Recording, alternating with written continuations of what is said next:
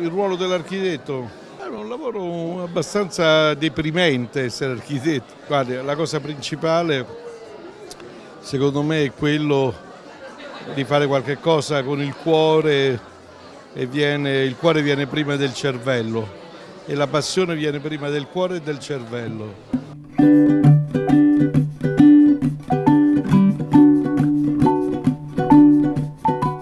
Basta pensare al cinema è fatta. Cioè, un film come eh, Pulp Fiction è la più bella opera d'architettura del mondo. Il cinema è tutto, in più è in movimento, puoi fare qualunque cosa, fai tutto, fai l'architetto, fai il musicista, fai il poeta, fai il pittore, fai tutto, perciò non c'è niente di meglio.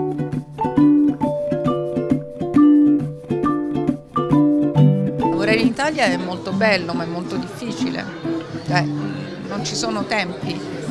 In Italia se, sì si può lavorare ed è straordinario, però si sa bene o male quando inizia un cantiere, ma quando finisce nessuno te lo garantisce.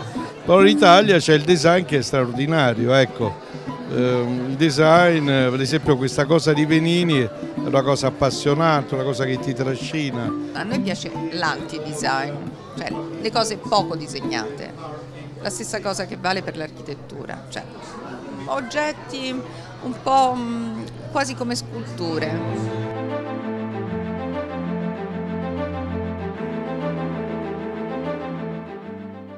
L'unico edificio, l'unica cosa che abbiamo fatto in Italia che ha avuto un inizio e una fine ed è stato straordinario, cioè è durato due anni, è la Fiera di Milano. Un edificio che avrei visto che è lungo un chilometro e mezzo, quindi due anni per realizzare tutto quello, però è stato credo l'unico esempio in Italia. Quando progettai la Fiera di Milano, che è un milione di metri quadrati, in pochi mesi lo progettai, lo costruimmo in 26 mesi, con questo asse centrale di vetro e cristallo praticamente di un chilometro e sei, non pensavo mai che avrebbe potuto accogliere praticamente il Salone del Mobile.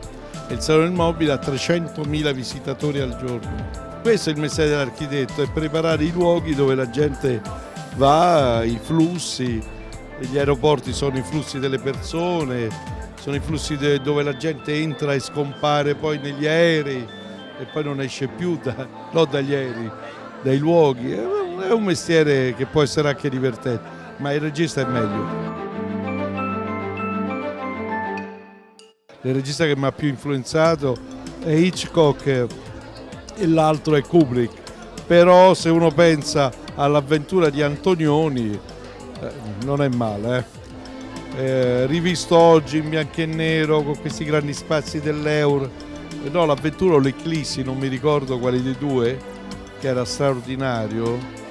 E questi luoghi, questi luoghi che sono. sembra un viaggio. Eh. Infatti eh, Monica Vitti a un certo punto dice sto facendo un viaggio eh, all'estero, fuori dall'Italia e stava semplicemente a un euro a una periferia, in una periferia romana in costruzione. Basta, ciao.